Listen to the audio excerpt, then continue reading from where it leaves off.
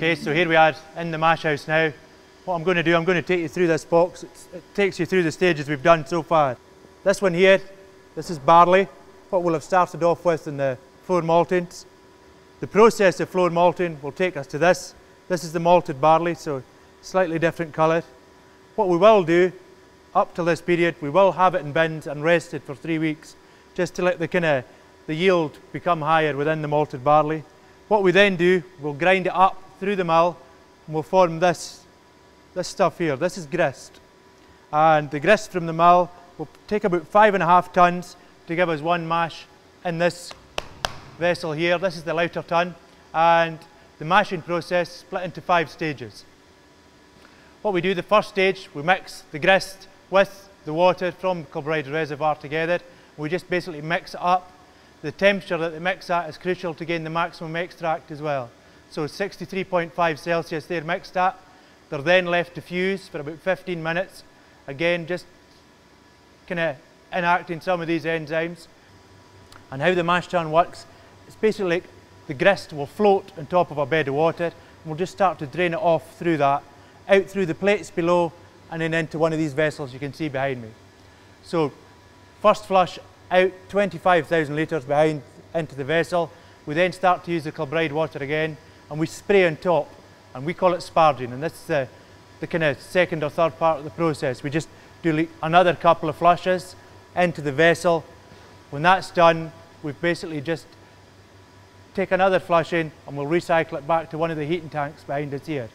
And what this does, any sugars and flavours we have left in the grist, it'll recycle them back into the next mash.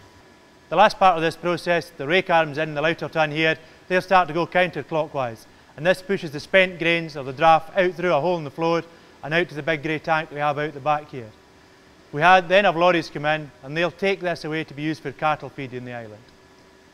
Now, we do have another process in the mash house here, it's the fermentation, and I'll take you over and show you what happens during that process.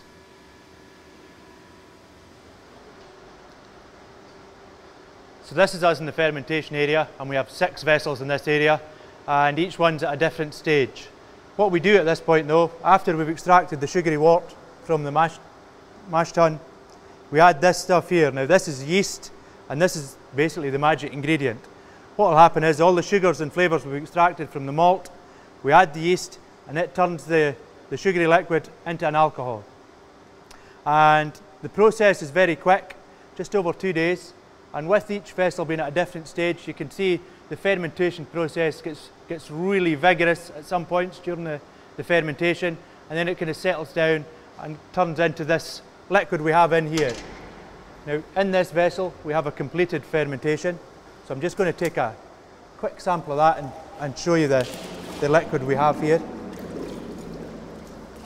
It also gains heat during the fermentation, so from setting at maybe 18 Celsius. Uh, as it ferments, it builds up to maybe 34 Celsius. And the temperature point is crucial so that we don't kill our magic ingredient in here. So, nice kind of cloudy liquid here. This is 8.5% volume, so it's a nice warm beer, strong beer as well. Very, very peaty, very heavy, very bitter, and quite yeasty as well, and, and very sweet. Yep, just as expected.